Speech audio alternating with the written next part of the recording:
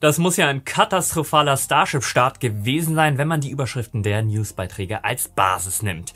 Ja, bei manchen fragt man sich, ob die Redakteure oder wahlweise auch die KI den Start überhaupt gesehen hat. Macht nix, wir waren ja live dabei und mittlerweile gibt's ja sowohl offizielle Statements von SpaceX und der NASA als auch viele sehr gute Analysen aus der kundigen Community. Das und noch mehr schauen wir uns also heute an und geben einen Ausblick, wie es denn jetzt weitergehen könnte. Herzlich willkommen zu Senkrechtstarter, dem Raumfahrtkanal im deutschen Sprachraum.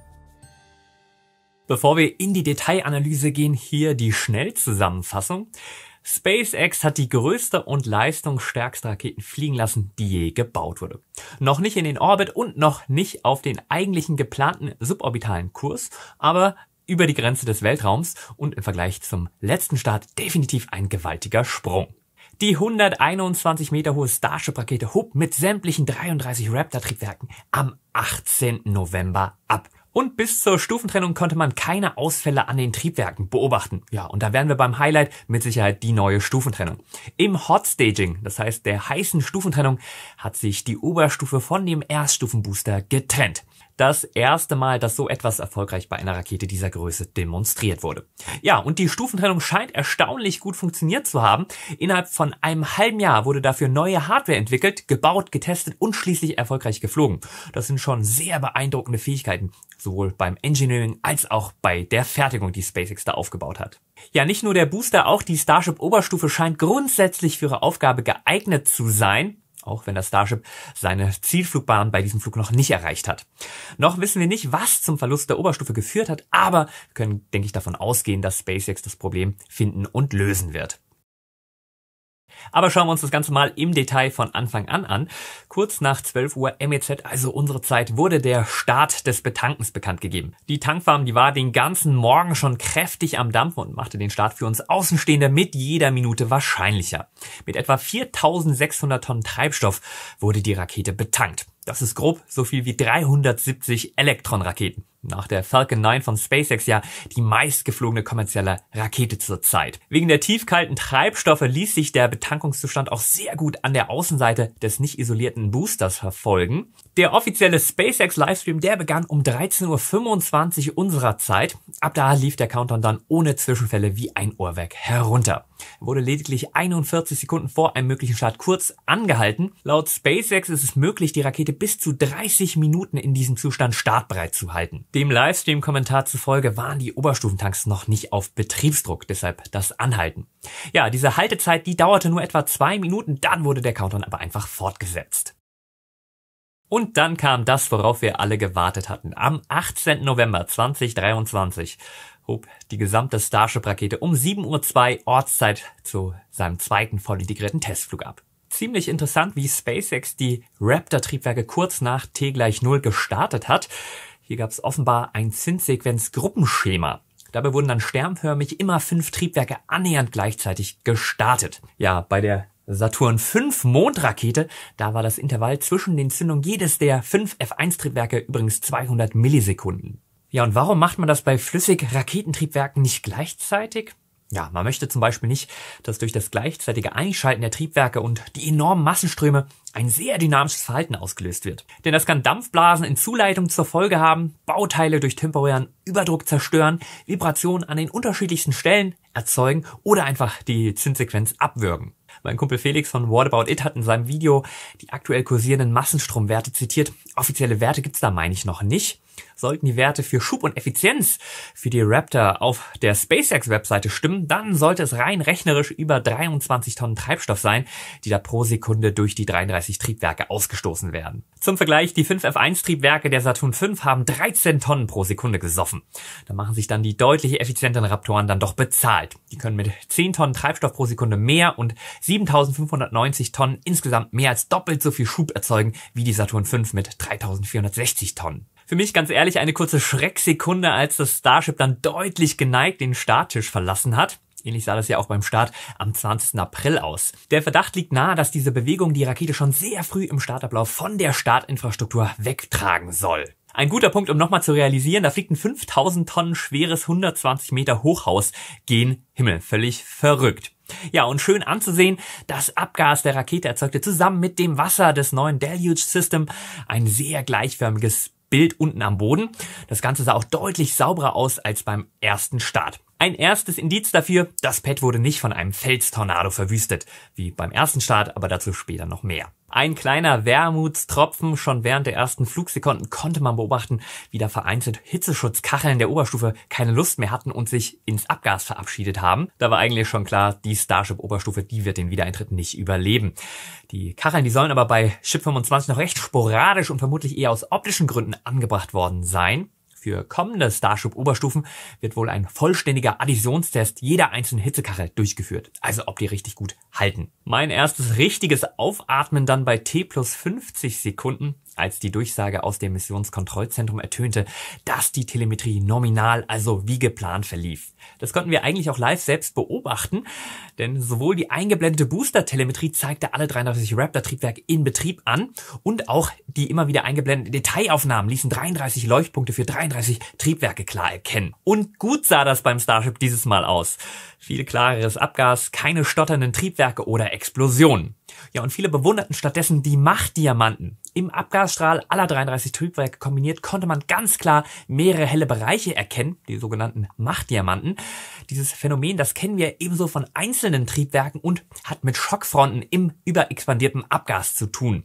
Dazu gern mein Video über Triebwerksdüsen schauen, das verlinke ich euch unter dem Video. Kurz vereinfacht gesagt, alle 33 Raptor-Triebwerke zusammen müssen eine gemeinsame Abgasströmung generiert haben, die so homogen war, dass sich eben diese Machtdiamanten bilden konnten. So als wäre es ein einzelnes großes Triebwerk. Definitiv ein Qualitätsmerkmal der diesmal hervorragend arbeitenden Raptor-Triebwerke. Während des ersten Starts am 20. April, da waren ja schon nach einer Minute vier Triebwerke ausgefallen. Wäre das noch auf der Startrampe passiert, dann hätte die Flugsteuerung den Start sofort abgebrochen. Damals waren die darauffolgenden Fragen nach der Zuverlässigkeit der Raptoren nicht ganz unberechtigt. Heute sieht die Situation meiner Meinung nach ganz anders aus. Klar kann es Glück gewesen sein, aber bei so vielen Triebwerken, die während des Aufstiegs durchgängig homogen gefeuert haben, halte ich das doch eher für unwahrscheinlich. Der nächste Meilenstein war dann Max Q. Dieser Punkt, der wurde bei T plus eine Minute und sechs Sekunden erreicht. Max-Q, das ist der Punkt, an dem die Rakete die maximale Strukturlast aus dem Fahrtwind ertragen muss. Hier hatte ich mir wenig Gedanken gemacht, da schon beim ersten Starship-Flug eigentlich klar war oder der Eindruck erweckt wurde, dass es für eine Rakete doch ziemlich massiv gebaut ist was ja durchaus Sinn macht, wenn man die Rakete nicht nach jedem Start wegwerfen möchte. Dass dieser zweite Flug schon mal nicht in die Tonne gehört, sondern eine Verbesserung zum letzten Start darstellt, das war spätestens 90 Sekunden nach dem Start klar als Geschwindigkeit und Höhe des ersten Fluges deutlich übertroffen wurden. Dem folgte das nächste Highlight, das kontrollierte Abschalten von Booster-Triebwerken. Ganze zwei Minuten und 40 Sekunden hatten die Booster Raptoren bis jetzt schon gefeuert. Laut SpaceX haben alle 33 Raptor-Triebwerke des Super Heavy Boosters zum ersten Mal während des Aufstiegs eine volle Brenndauer erreicht. Bei T plus 2 Minuten und 40 Sekunden begannen die Triebwerke sich dann in Gruppen von 5 abzuschalten. Das hatte schon krasse Science-Fiction-Vibes meiner Meinung nach. Dagegen sehen die Stufentrennung von Space Shuttle und SLS aus wie Dampfmaschinen. Nachdem die meisten Triebwerke in Fünfergruppen abgeschaltet waren, hatte SpaceX angekündigt, dass man die drei verbleibenden zentralen Booster-Raptoren auf 50 Prozent ihres Schubs drosselt.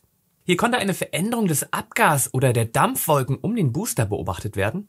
Scott Manley hat als Ursache der Dampfwolken Treibstoff ausgemacht halte ich nicht für sehr plausibel.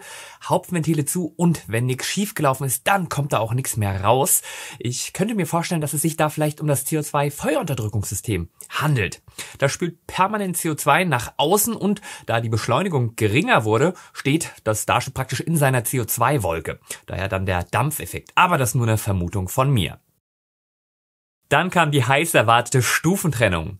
Ja, während des sogenannten Hot Stagings wird die zweite Stufe gezündet, während die Triebwerke der ersten Stufe noch brennen oder ein Teil dieser Triebwerke und die beiden Teile miteinander verbunden sind, also Oberstufe und Booster. Hauptvorteil ist etwas mehr Performance, da nie aufgehört wird, Schub zu geben. Ein weiterer Vorteil ist, Booster und Chip erfahren weiterhin positive Beschleunigung. Das sorgt dann dafür, dass auch in beiden Teilen die Treibstoffe am Boden der Tanks bleiben. Gerade im Booster sind ja die Tanks fast leer und würde es keine Beschleunigung geben, dann würden die Treibstoffe oder die Treibstoffreste in der Schwerelosigkeit nur wild durch die Gegend wabern. Da der Booster die zentralen Triebwerke aber nie ausgemacht hat, ist auch für das folgende Flipmanöver Treibstoff an der richtigen Stelle am Boden der Tanks. Weiter ist ein hydrostatischer Druck aus der Beschleunigung in den Zuleitungen, was das Anwerfen der Turbopumpen begünstigen dürfte, also von den Triebwerken, die dann nachträglich noch angemacht wurden.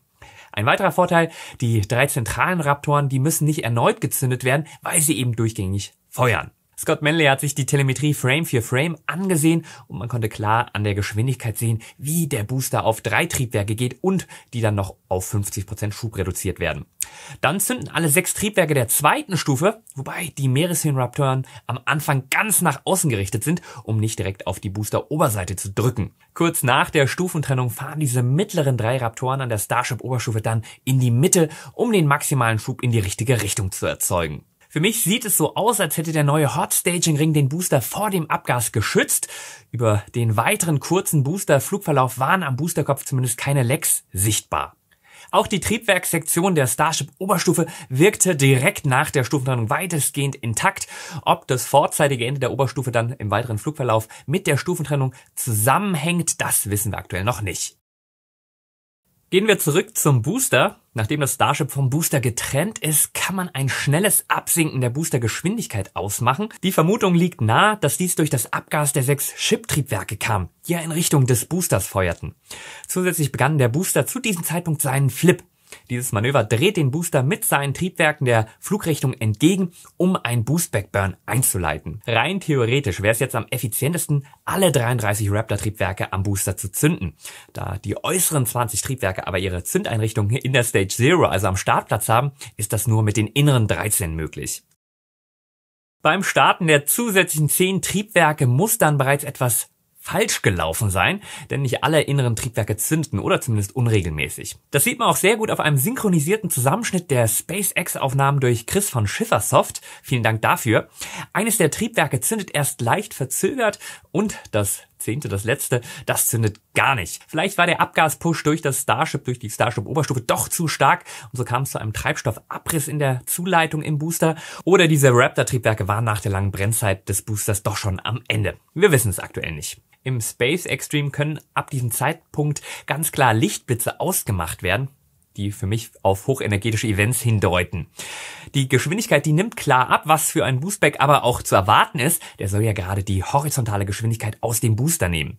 Trotzdem scheint der Booster ab dem Flip zu kämpfen und schließlich mit einer Explosion aufzugeben. Wenn man das Video stark verlangsamt, dann passiert das offenbar relativ weit oben im Booster im Bereich des Methantanks. Ob das eine automatische Sprengung des Flugabbruchsystems war, das können wir aktuell noch nicht sagen. Dazu hat sich SpaceX nämlich noch nicht geäußert. Da es mit diesem Problem beim ersten Flug Probleme gab, halte ich es für plausibel, dass vielleicht SpaceX intern die Ansage ausgegeben hat, keine Statements zum Flugabbruchsystem. Aber wer weiß. SpaceX selbst sagt nur, es sei zu einer außerplanmäßigen Demontage des Boosters gekommen. Der Abbruch des Boosterflugs erfolgte laut SpaceX nach dreieinhalb Minuten Flugzeit in einer Höhe von mehr als 90 Kilometer über dem Golf von Mexiko. Auf Wetterradar-Aufnahmen, die Jonathan McDowell auf X geteilt hat, kann man klar den Trümmerregen des Boosters in der Sperrzone erkennen. Bis zu diesem Punkt gab es am Boosterflug, soweit ich das bisher beurteilen kann, keine klar erkennbaren Sicherheitsmängel, die dann einen erneuten Flug in absehbarer Zeit vielleicht verhindern könnten. Bevor wir zur Oberstufe zurückkehren, das Ende des Boosters für den einen oder anderen vielleicht eine traurige schwarze Angelegenheit und das bringt uns zu Black Friday. Ja, wir hauen dieses Jahr wieder ordentliche Rabatte für Senkrechtstarter Merchandise raus, also wenn ihr noch coole Weihnachtsgeschenke braucht, bis zum Dienstagabend, den 28.11. bis 23.59 Uhr gibt's die Senkrechtstarter Black Friday Rabatte. Link ist unter dem Video. Zurück zur Starship Oberstufe. Wie eben schon erwähnt, haben alle sechs Raptor-Triebwerke der zweiten Stufe des Starships gefeuert. Sie wurden dann auch mit 100 Kilometern Höhe die offizielle Grenze zum Weltraum überschritten. Starship ist damit zwar noch keine Orbitalrakete, aber immerhin Weltraum erprobt. Fun Fact, mit Falcon 1, Falcon 9, Falcon Heavy ist das Starship jetzt schon die vierte Rakete, die höher fliegt als die New Shepard von Blue Origin. Und der nächste Fun Fact, Blue Origin wurde von Amazon-Gründer Jeff Bezos bereits im September 2000 gegründet und ist damit schon anderthalb Jahre älter als SpaceX, das im März 2002 gegründet wurde. Laut SpaceX erreichte das Starship mit über acht Minuten Flugzeit fast seine volle Brenndauer für diesen Flug. Laut SpaceX verlor man dann aber kurz vorher die Telemetrie und die Raptor, die schalteten sich dann ab. Ganz interessant vielleicht, vor dem Start sagte SpaceX, dass auf diesem Flug Starlink für die Video- und Telemetrieübertragung der Rakete mitverwendet wird. Nicht ganz klar geht aus dem SpaceX-Statement hervor, ob das Starship aktiv zerstört wurde oder das Chip die Zerstörung automatisch ausgelöst hat. Ich würde jetzt auf Letzteres tippen. Im Space Extreme, da meine ich eine Explosion auszumachen, aber das ist bei dieser Auflösung reine Spekulation. Bei einer Höhe von etwa 150 Kilometern und einer Geschwindigkeit von circa 24.000 Kilometern pro Stunde müssen die Überreste auf jeden Fall relativ weit geflogen sein. Wie Felix von What About It berichtet hatte, wurde vor Puerto Rico wohl tatsächlich der Wiedereintritt beobachtet. Sogar die abgerissene Nutzlastverkleidung konnte man nach dem Auseinanderbrechen des Starships vom Boden aus mit dem richtigen Equipment beobachten. Unbedingt auf dem Kanal von Astronomy Live vorbeischauen. Hier gibt's die volle Aufnahme, wo sehr gut zu erkennen ist, wie der vordere Teil des Starships außer Kontrolle trudelt. Link ist unter dem Video. Auch von dem Trümmerregen der Oberstufe gab es dann Wetterradaraufnahmen. Soweit wir bisher wissen, wurde kein bewohntes Gebiet getroffen. Trotzdem könnte der Starship-Flug und sein unvermittelter Abbruch, also jetzt von der Oberstufe, vielleicht noch eine Wundertüte für Folgestartgenehmigungen bereithalten. Aber dies ist ebenfalls reine Spekulation auf sehr limitierter Datengrundlage. Ja, das Bild ist auch bei SpaceX noch nicht komplett. SpaceX schreibt selbst, die Auswertung der Daten, die sei noch nicht abgeschlossen und wird noch etwas brauchen. SpaceX bedankt sich im offiziellen Statement natürlich bei seinen Kunden, der Gemeinde Cameron County, in der ja die Starbase steht, bei uns Raumfahrtfans und der gesamten Community für die anhaltende Unterstützung und Ermutigung. Ich würde sagen, da dürfen wir uns wirklich alle tatsächlich gerade angesprochen fühlen. Sehr cool. Wir bedanken uns natürlich auch bei SpaceX für die exzellente Show. Gerne wieder. Bevor wir in meine abschließende Beurteilung gehen, hier wieder ein riesen Dankeschön an alle Schutzengel. Vielen, vielen Dank für eure Unterstützung. Ohne euch, da wird Senkrechtstarter wirklich nicht mehr geben. Als kleines Dankeschön gibt's ja alle meine Videos vorab für euch und ohne Werbung. Wenn auch du aktiv mithelfen möchtest, den deutschen Sprachraum für Raumfahrt zu begeistern, genau, unter dem Video findest du einen Link zur YouTube-Kanalmitgliedschaft. Vielen, vielen Dank.